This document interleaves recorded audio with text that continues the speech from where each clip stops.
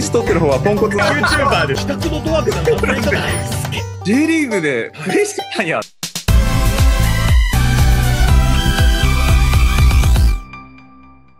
あ、那須さん、こんにちは。よろしくお願いしますよろしくお願いします。お忙しい中すいません。いえいえ、もう全然です。もう回ってますんでいいですか？あ、大丈夫です。あ 早いな。那須大輔さん J リーグ厚労省受賞おめでとうございますおめでとうございます。ありがとうございます。もうすごい賞をね、もう気軽に声かけちゃいけない人になっちゃったわけですよね。おっしゃいますか。いやいやいやですから。あの、こうやって賞をいただけると、はい。はい。J リーグでプレイしてたんやっていう、いやいやいや。い思い出やいやさせていただけるので、ありがたいです。いや、この喜びを今一番誰に伝えたいですか？そうですね。まあ、やっぱりあの、両親には伝はい。えたいですし、うんはい。家族ですね、ずっと伝えていただいじゃてる。あ、あの、ミミルクサッカーアカデミーとして伝えてもらっていいですか？今、どうぞ。はい。あ、あ、家族ですか？そうですよ。なかなか伝えたいですかって言われて、実際伝えろって言われないですもんね。すいません。おめでとうございます。おめでとうございまありす。がとうございます。受賞の決め手は、ご自身では、やっぱこれ、これだっていうのありますか？受賞の決め手。まあでも僕はその人に恵まれたので、はい。えいろんな各チーム、6チームですか、6チームですよね。ワンクラブ渡らせてもらって、400試合、29号。ははいい。はい。もう、で、いろんな各名選手とはい。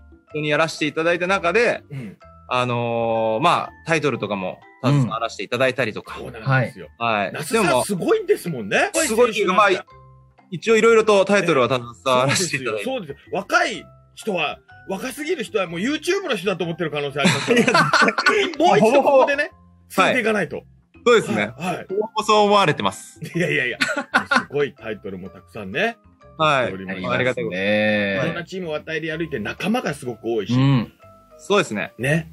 まあ、あと、まあ、サポーターとか、はいそこのおスポンサーさんとかもそうなんですけど、うん裏方の方とか、あの、晩年もそうなんですけど、やっぱこう、気づかせていただいて、こう、選手として、あの、みんなが背中を押してくれたっていうのを、こう、肌で感じてプレーできたっていうのが、はい。多分ここに繋がったのかなっていうふうに思ってます。今もいろいろ、はい。あの、YouTube をはじめいろんな活動をなさされてるはい。中で、まあプレイヤーの時と、えー今ちょっと外から見る J リーグ、えーどのように感じられてますか？変わってきてるところとか。そうですね。はいまあ、やっぱコロナっていうところで、はい。はい。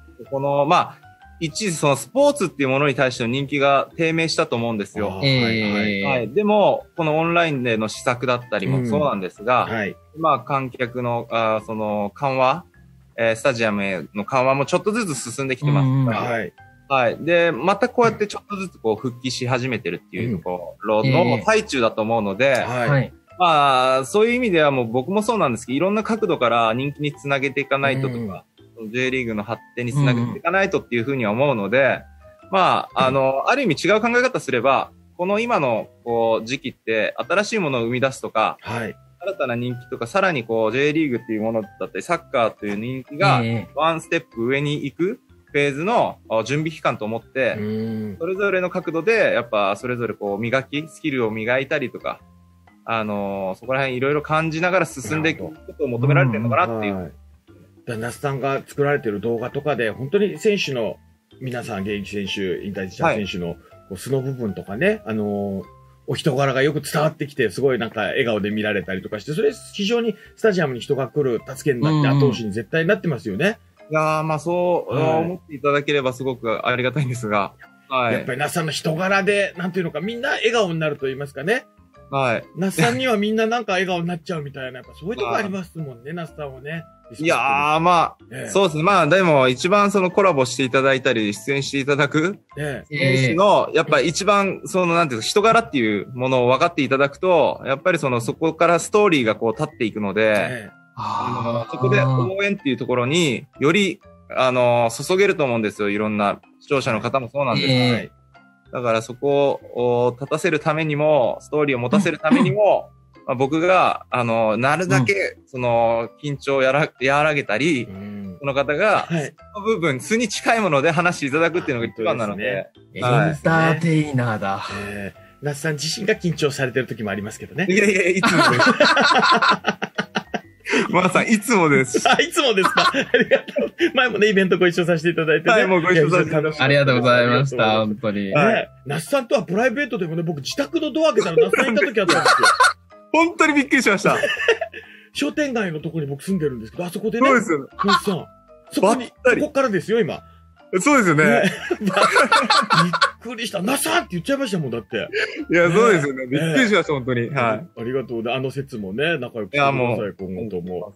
ね、今日は J リーグアワーズということで、ピシッとね、ネクタイもされてるんですけど、うん那須さんが思う J リーグの理想の未来像みたいなのってやっぱりあると思うんですけど。い。やっぱはいり、その、あの、満員のスタジアムで、選手からもそうなんですけど、クラブスタッフはいが、もうはい満員のスタジアムでプレーできるっていうのは、もう本当喜びだと思うんですよ。ええそこで、やっぱり、こう、勝ってみんなで喜べるって、はいもう一番もう醍醐味だと思ってるので、はい。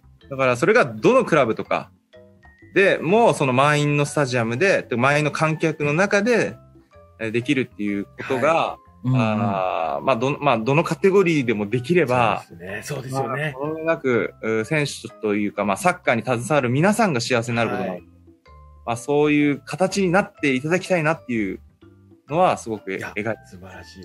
那須さん、ご自身のの個人としての理想の未来像、こんな風になっていきたい、こういうことをやっていきたいっていうのはこれから。個人ですかはい。厚労省として、厚労者として。はそうですね。あのーまあ、えーまあ長期的なビジョンとしては、い。はい。まあ、あの、その J リーグにやっぱりこう、お世話になって、ずっと18年間やらせていただいたので、はいまあ、ええ還元したいというところなんですけど、やっはい。はい。ぱりその僕は情熱と対価を同時に、えー与えられるというか、サッカー、それをサッカー関係の方に、はい。はい。情熱とやっぱ対価を一緒に提供できるものを作りたいっていうのを思ってるので、はい。えはい。えまあ、今、目に見えるっていうか分かりやすく言えば、はい例えばメインスポンサーとか、はい。はいはいやっぱ。り、あの、そういう立場で、やっぱり情熱と対価を提供できるっていうところ。うんうん。で、その中で、やっぱ素晴らしいそのサッカーというものを、こう、それぞれのお部署で発展のためにやっていくっていうものを、えーやっていきたいので、目に見えて分かりやすく言えば、もうそのスポンサーみたいな感じで、スポンサーを、那須さんがはい個人でするってことですか？たいなっていうのは思ってるんですけど、まだそこに、まだまだ行きつけないんですけ全ど、全チームに？全チームっていう形は分かんないですけど、どういう形か分かんないんですけど、はいまあ、それが他の形かもしれないですし、はいはいでもはい。まあ、分かりやすく言えば、そういう形になって、やっぱり、うへん。うん、まあ元選手がそういう形でやれると、サッカー界のことももちろん分かりますし、ーなるほど。はいはい。そうより新たな経路といいますか、そうですね。新たなカルチャーを作っていきたいっていう。はい、形を作っていきたいなって、そういうのできたら幸せだなって思いますけどでね。かい男ですね。かいですいね。やいやいやいや、も大輔ってつけてよかったですよ。本当に なんで名付け親みたいにな大でよかったですね。でかい男ですね。そうですか。ただもう今日から J リーグ厚労省ウィナーですから、ホルダーですから、ちょっと悪いこと一切できませんからね。悪いことって。いいですか？はい。あのー、路上で商用を済ませたりとか。J リーグ厚労者ですから。ダメですからね。なんかはい、はい。もうもちろんです。ね。はい。お店でパンをポケットに入れたりとか。ダメですよね。やめてください。したことないですよね。もちろんです。そうですね。はい、その、さっき言いましたけどね、先生。ええ那須さんのすごい選手で、こんな賞をね、取り続け、こんな実績を上げてきたっていうのを、なんかそこ歯がゆいんですよ。今伝わってないんじゃないかと。那須さいや、そうですかね。ん。でも自分で言うのも、あれじゃないですか。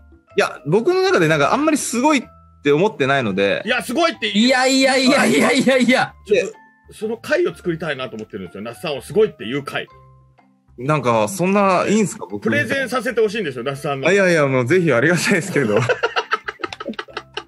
めちゃめちこうゃありがたい。いうデビューでこういう風に過ごしてきて、こういうめめシーンがあって、那須さんはここの時こういう仕事をしたと。はい。そしてその時誰々にこう言われてこう思った那須さんはこういう努力をしてこうやったと。そして今に繋がってるっていうのをね、うん。はいちょっと、やらせていただきたいんですよ、那須それはでさん。も、あの、ええちょっと嬉しいかもしれないです。そうです各、こう、語られなかったそのシーンっていうのはあるので、はいはいはい。はい。それぞれに。もう、我々で全部解明してね、先生ね。はいそれはめやりましょはい。ありがたいですね。まあ、渡された後、トロフィーとかもらったんですか？いや、と、盾はもらいました。ああ、飾ります、部屋に。飾りますが、うんあの、があんまりお祝いはしないです。まあ、このご時世ですからね。そうですね。まあ、お祝いし、いや、いやそうではなくてもお祝いしないですね。あ、どういうことでしょう？いや、だって、そのなんかすごいと思ってないっていうか、ありがたいんですよ。ありがたいんですけど、あれでしょ？なるほどね。今だ道の途中だからでしょ？そうです、そうです。なんか今、このお祝いしちゃうと、今に満足してるようなな気が、るほど。その結果に満足もしてないので、はい。大輔。大きな男ですよ。今ね、あの、大と助が画面に出るイメージでね、いいですああ、そうですね YouTuber ですから。ね。はいそうでしょ？皆さんの脳裏には浮かんだと思いますし。そうですよね。はいありがとうございます。ありがとうございます。伝えたい、那須さんからのメッセージございますでしょうか？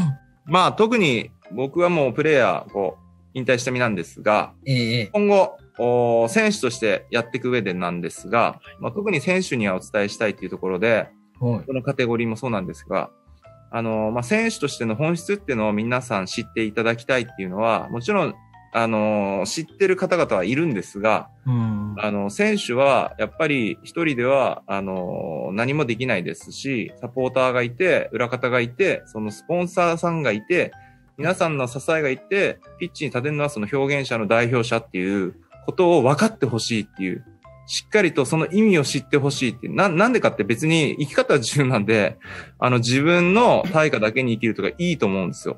ええその生き方はもうその強制する必要もないんで、でもその本質を知ることによって、よりやっぱりその、誰かのために、こう、勝利のためにこう邁進するっていうことが大きな力を生むっていうのを僕は肌で感じてきましたし、そうやってこられたっていうそれはことですよね。結果に近づけたっていうところ、うん結果を残せたっていう部分は大きくあるので、だからこそ生き方は自由ですし、スタイルはそれぞれあるんですけど、本質は知るべきだと思ってるので、うんだからそういうのをより、えー選手が意識していただけたら、あの、サポーターとの距離も変わってきたり、スポンサーさんの今までのこの、なんていうんですかね、距離感も変わってきて、えーお互いこう、いい、こう、相乗効果を生むんじゃないかな、チームとして、あチームは生き物なので、はい。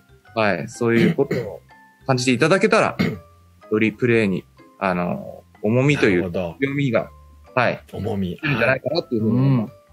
すごい説得力あります。素晴らしい、那須さん。ありがとうございます。す。いやいやもうトップのビジネスパーソンのお話を伺ってるような感じでした。いやいやいや、そんなことないです。おしゃべりうま、うまくなっちゃっても毎日撮ってますから。すごいですね。あれあの、毎日撮ってる方はポンコツの方見せてるんで。あ、さそうなんですか？ポンコツの方がこぼれちゃう。ポンコツじゃないんですよ、みんな。はい。ちょっとこれからも、ね、はい楽しませていただきたいと思います。本当にはいお忙しいとこありがとうございました。はいありがとうございましこの後もた。アワーズでしょはい。この後もアワーズも終わりあ、そうです。まだだちょっと続きます。そうな、そんな中ね。はいありがとうございますお忙しい中時間ない中申し訳ないんですけど、那須さん。やっぱりはい那須さんといえばそういうパワーがあるんで、ちょっと僕の後に繰り返してもらっていいですか、言葉。もちろんです。えミルクサッカーアカデミー、チャンネル登録よろしくお願いします。はい、わかりましたはいミルクサッカーアカデミー。皆さん、チャンネル登録、ぜひぜひ、よろしくお願いします。ありがとうございます。神様ありがとうございます。やっさんありがとありがとうございます。機会があれば、あの、プレゼン行かせてください、今度は。はい。お願いします。うお願いします。ありがとうございますありがとうございました。はい、ありがとうございました。失礼します。す。那須大輔さんでした。ありがとうございました。はいありがとうございおめでとうございます。ありがとうございました。大輔。ありがとうございました。